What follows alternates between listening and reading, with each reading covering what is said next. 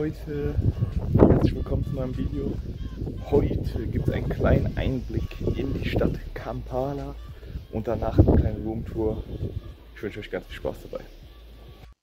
Zuerst sind wir mit dem Matatu in die Stadt gefahren. Das funktioniert folgendermaßen, dass man sozusagen dieses, diesen kleinen Bus ein Handzeichen gibt und dann hält der an und jeder Bus, der in diese bestimmte Richtung fährt, wird auch in Kampala halten. Das heißt, so ein Bus hat keine direkten Haltestellen, sondern nur die Endhaltestelle, und zwar Kampala. Um halt vorher rauszukommen, sagt man Massau und dann hält einfach dieses, dieser kleine Bus, wo die ganzen Leute drin sitzen, am Straßenrand.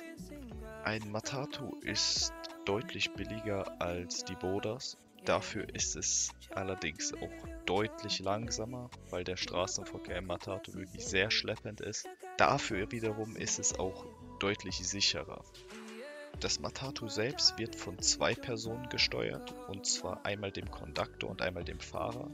Der Konduktor ist sozusagen derjenige, der die ganze Zeit aus dem Fenster schaut und auf sich aufmerksam macht. Mit dem verhandelt man auch den Preis für die Fahrt Auf dieser Straße sind wir dann ausgeschieden und sind dann auch zum Uganda Museum gegangen. In dem Museum habe ich eine private Rundtour bekommen, wo mir alles Mögliche erklärt wurde. Zum Beispiel die alten Häuser, in denen man gelebt hat, wo jeder Stamm sein eigenes Hausdesign hat, vergangene Instrumente, vergangene Spiele und natürlich auch verschiedenste Tiere, die dort leben. An dieser Stelle habe ich dann versucht, alle meine Entchen zu spielen.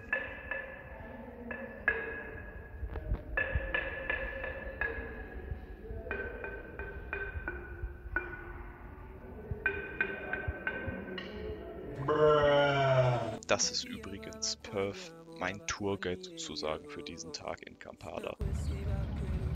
Weiter sind wir dann im Matatu zum Craft Market gefahren und ich lasse euch einfach mal ein bisschen die Fahrt genießen.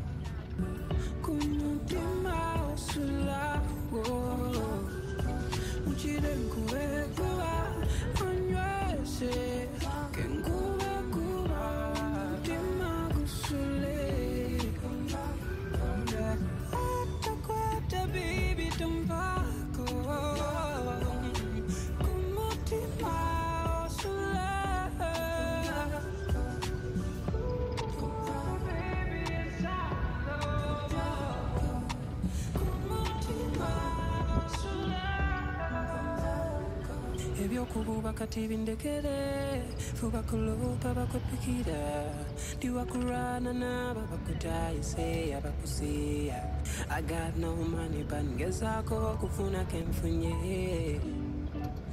sava katonda tuterewe kubo tulifuna ino life minzani omukwana kwanjira neina kwankuba cakala botyo baby.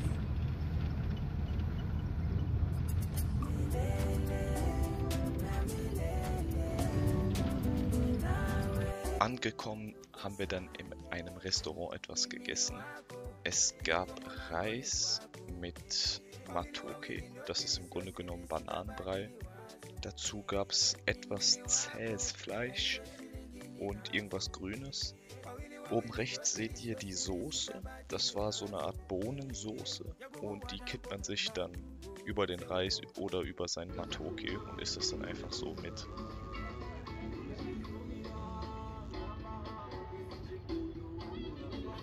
Das ist jetzt die Straße von Kampala Uptown zu Kampala Downtown. Zu Kampala Downtown wird es auf jeden Fall noch ein weiteres Video geben. Bleibt auf jeden Fall gespannt. Hier seht ihr jetzt einen Taxihafen von Kampala, wo die eben angesprochenen Matatus sozusagen anhalten, aber von denen man auch in alle möglichen Richtungen fahren kann. Je nachdem in welche Richtung man fahren will, muss man auf einen bestimmten Taxiparkplatz. Das ist jetzt ein Taxiparkplatz, der eher in weiter entfernte Regionen fährt. Okay Leute, das ist jetzt erstmal von Kampala zu Kampala wird es auf jeden Fall noch ein weiteres Video geben. Und jetzt ab zur Roomtour. So, ich zeige euch jetzt einmal kurz das Haus, wo wir drin leben. Da kommen wir jetzt außen an. Das sieht so aus mit Stacheldraht. Alles voll. Und hier kommen wir dann ins Tor rein.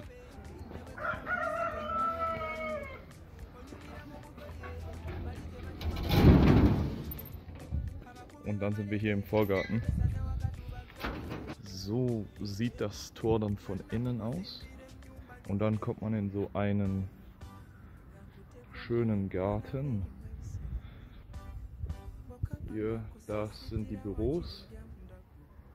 Ähm, und das sind Schlafmöglichkeiten, Schlafräume. Genauso wie da hinten Schlafräume und so eine Art Klassenzimmer sind. Und ja, da gehen wir jetzt einfach mal rein.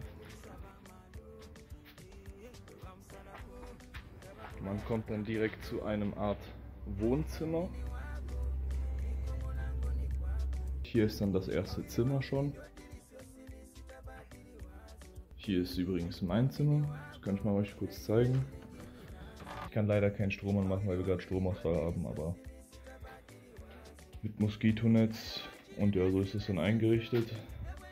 Kleiderschränke, Kleiderschränke und ja hier so verschiedenste Sachen. Die Wasserkanister benutzen wir nicht, weil die sind leer und die sind sehr teuer. Wir haben ja eine Wasserfilterflasche. Hier sind dann Lebensmittelschränke. Da hat jeder sozusagen seinen eigenen Schrank, wo er seine Sachen lagern kann. Bei mir ist das hier drin. Reis, Nüsse, Haferflocken, Öl und Pfeffer. Hier geht es dann weiter zu weiteren Schlafmöglichkeiten. Das sind, die sind halt gerade alle nicht belegt, die Zimmer. Hier ist dann ein Zimmer. Hier ist eine Schlafmöglichkeit. Und hier ist auch ein Zimmer. Hier war tatsächlich mein erstes Zimmer. Aber ich bin umgezogen. Wegen der Lautstärke, die da von der Straße so hart kommt. Das ist sehr nervig.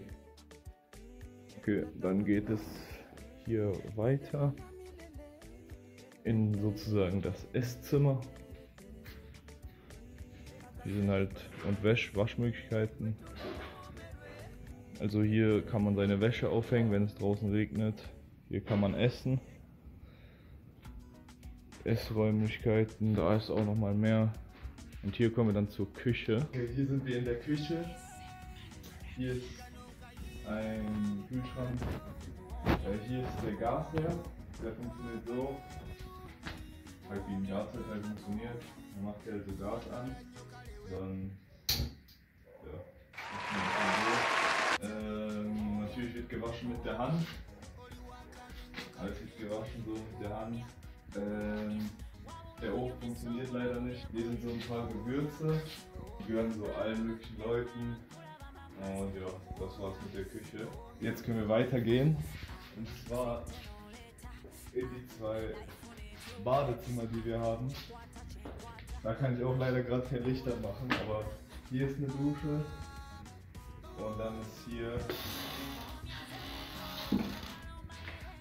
hier ist dann Toilette, die zweite Dusche und Waschbecken halt. Das ist übrigens Jeremiah, sozusagen der Hausmeister hier und so eine Art Bodyguard. Natürlich nur kaltes Wasser, ne? Also jedes Mal eine Herausforderung zu duschen, aber das ist in Ordnung. Jetzt können wir weitergehen.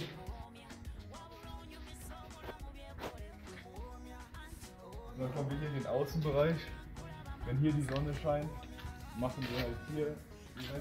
Aber das muss man mal schnell reagieren, falls es dann anfängt zu regnen, weil es kann schnell passieren. Dann müssen wir alle Sachen direkt wieder reinholen. Und hier machen wir auch die Wäsche.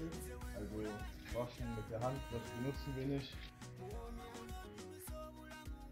Und dann kommt man hier halt wieder durch. Alles natürlich sehr gesichert. Aber das ist halt alles absolut abgesichert. Ja, und hier sind wir halt wieder im Vorgarten. Und dann, das. Das war's auf jeden Fall mit dem Video. Ich hoffe, euch hat es gefallen. Lasst auf jeden Fall gerne ein Like oder ein Abo da. Und dann würde ich sagen, sehen wir uns beim nächsten Video.